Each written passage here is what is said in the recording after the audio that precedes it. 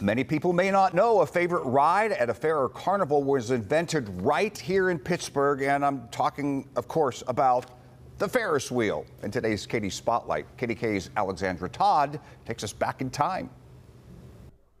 This year marks the 131st anniversary of the World's Columbian Exposition, and there are so many Pittsburgh ties. The organizers of the World's Fair in Chicago knew to come to Pittsburgh. It was the place of innovation, of invention, and can do spirit, even in in 1892. The Columbian Exposition, better known as the Chicago World's Fair, was held in 1893. It celebrated the 400th anniversary of Christopher Columbus's arrival to the New World. President and CEO of the Heinz History Center, Andy Masich, says this was an opportunity to showcase the technology and creativity of a generation to the world a Pittsburgh engineer named George Ferris, 34 years old, said, I can take the Eiffel Tower, put it on a pivot, and rotate it. People said, You can really do that? And he did. Ferris made a 264 foot wheel made of iron and put 36 railroad cars on it.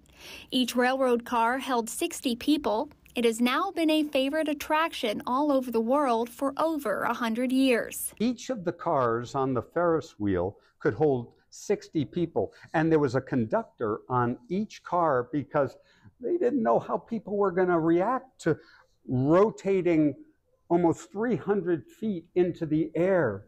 Another George from Pittsburgh, George Westinghouse, illuminated the entire fairgrounds with 250,000 lights the Ferris wheel was so popular that when the fair closed, people didn't want the Ferris wheel to close. And it stayed longer than the fair itself and then was disassembled and moved to other places in the country because it was such a hit.